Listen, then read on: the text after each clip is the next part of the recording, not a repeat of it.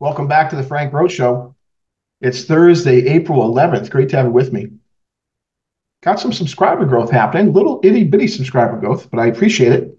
If you're listening today and haven't subscribed, please do like the video, tell your friends and family to do the same. I appreciate the support. More inflation data came out for the US economy today. The producer price index for the month of March was released by the Bureau of Labor Statistics, BLS.gov. If you want to check the data yourself, the producer price index was up 0.2% in March, year over year up 2.1%, a little higher than expected. Final demand for goods was down 0.1%, and final demand for services was up 0.3%. When we look at less food and energy, so the core PPI, again, taking out those volatile series of food and energy driven by speculation on international financial markets, the index was up 2.8% year over year. And so more inflationary pressures on the producer side. Oftentimes, when prices go up for producers, they pass them on to consumers. Now, the peculiar thing about this report, and again, I, I hate doing this, but I think we're seeing more gaslighting here, more manipulation of data. It's anecdotal at the moment. I'll come back to you with some later podcasts to see if, if see if my assessment is correct. But final demand for goods down 0.1%. Now, how did we get to down 0.1% for final demand for goods? while the BLS claims that on a seasonally adjusted basis, final demand for energy in the month of March fell 1.6%. And I'm sorry, that does not seem to be the case. You tell me, you're a listener, you, you, you buy gas, you heat your homes. You tell me if that makes sense. I think the data reveals gasoline at the retail level over the month of March, I think is about four and a half or five percent. And so seasonal adjustments, which is a common thing to do with data, we think of seasonalities, we think of summer when it comes to vacation. Seasonalities affect Christmas. Seasonalities affect July 4th. Seasonalities affect the transition transmission from fall to winter and winter to spring.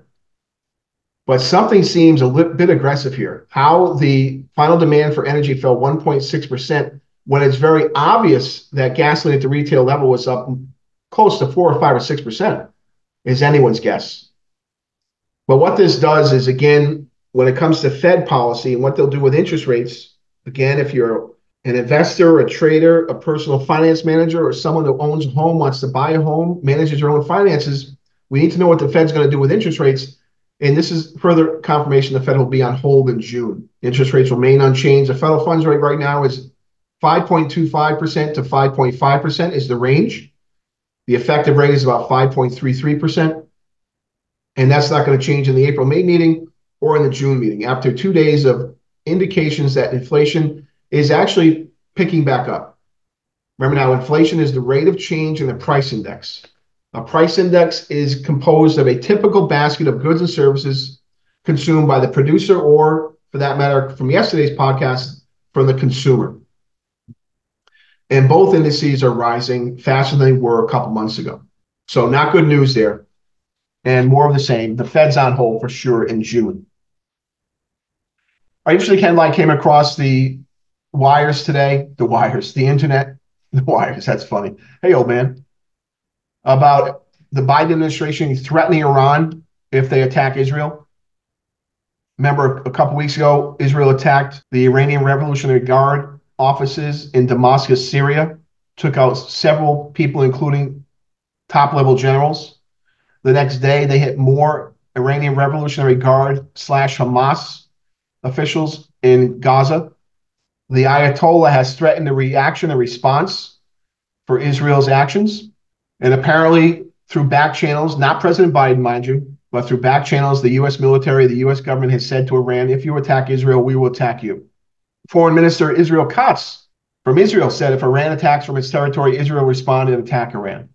What are we on? From 1978, what's that? 10, 20, 30, 40, 46 years now since the Iranian Revolution and the Ayatollahs took over and just threw the Middle East into chaos, even more than it already was and has been since, has been threatening Israel since in Israel's existence. You know, it's a horrible thing to think, but if this has to be done, let it be done if Iran attacks Israel, Iran is going to be crushed. Remember, President Biden is trying to sit on the fence between supporting Israel and assuring American Jews that he is supporting Israel, or not supporting Israel and supporting Palestine, Hamas, Iran, for one simple reason the Electoral College and the Arab Muslim vote in Michigan. Last week, President Biden was on the side of Hamas and the Palestinians and Iran. This week, he says he's firmly on the side of Israel. Someone has gotten to Joe Biden over the past seven days for sure, because that's quite a change in rhetoric. And so Joe Biden is weighing the American Jewish vote against the American Arab Muslim vote. And has been picking the side of the Arab Muslim vote. And again, Michigan is a very important electoral college state. First reports are always wrong on these types of things. There's no doubt that Iran must be readying itself for an attack on Israel because it won't let those attacks go unnoticed. It's more likely Iran attacks Israel or responds through its proxies in Yemen through the Houthis, in Lebanon through the through Hezbollah, in Gaza through Hamas. So it's not clear. I hope Iran got the message. And if Iran dares to attack Israel directly from its own territory, Iran's going to get crushed. All right, the other thing that caught my attention in terms of news was Janet Yellen's visit to China, even though China has made it very clear that they are a strategic foe and want to replace the United States as the number one superpower in the world. They want Taiwan back. They're threatening the Philippines. They threaten Japan. And yet the Biden administration is doing all it can to mollify, to show China that we're their friends and everything's okay. We can you can keep exporting to us. You can keep wiping out our middle class. Remember, China is engaging in some serious asymmetrical warfare as it prepares to attack Taiwan sometime soon. And they're setting up a, a situation where they'll be able to uh, disrupt America internally with Chinese nationals here in the country tied to the Communist Party and the PLA to delay America's response once China decides to attack. This is pure game theory. And China has to make a decision to attack the US before it attacks Taiwan to make its attack on Taiwan more successful, or to attack Taiwan and deal with America's response. And it's very clear that China is sending forward troops into our own country using the southern border as a, as a venue.